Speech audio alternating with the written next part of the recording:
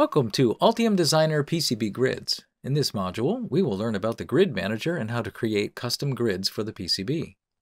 We have used grids in our prior modules for placement in the schematics as well as for the PCB board planning. Now we will introduce the Grid Manager for the PCB placement. To access the Grid Manager, click on the PCB window with the right mouse button and select Snap Grid and then Grid Manager. This opens up the Grid Manager window. Here we see the default grid. Double-clicking on it opens it up. You can customize a number of things, including the line colors as well as the fine and coarse line multiplier. In addition to the step X setting, which can be used for both X and Y, if you click on the chain, you'll break it, and now you can enter a different value for Y. Clicking on OK will set these values for the current grid. We can add more grids to the PCB by using the menu at the bottom. There are options for adding Cartesian grids as well as polar grids. Let's add one of each. Before we do this, let's make sure that we have grids visible by checking the View Configuration option.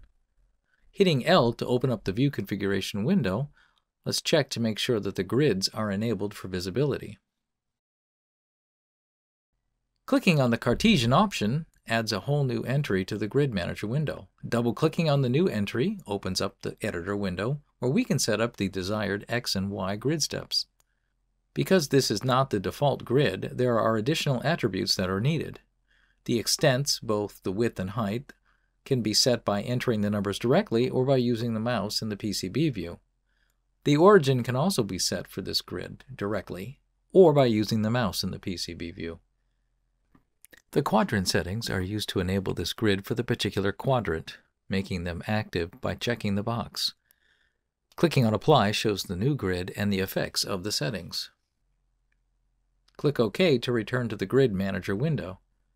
This new grid will be overlaid upon the default grid based on the priority shown in the Grid Manager, with 1 being the highest or the topmost grid.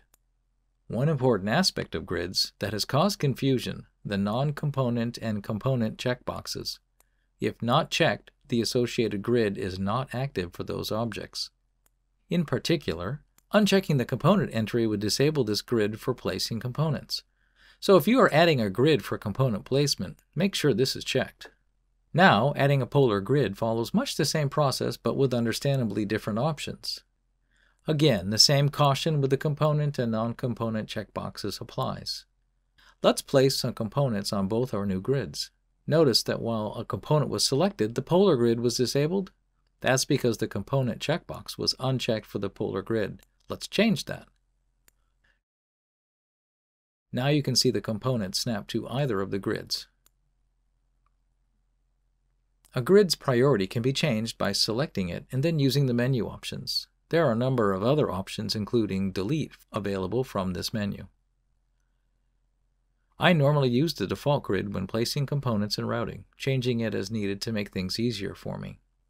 You, however, can decide what makes sense for your particular PC board application.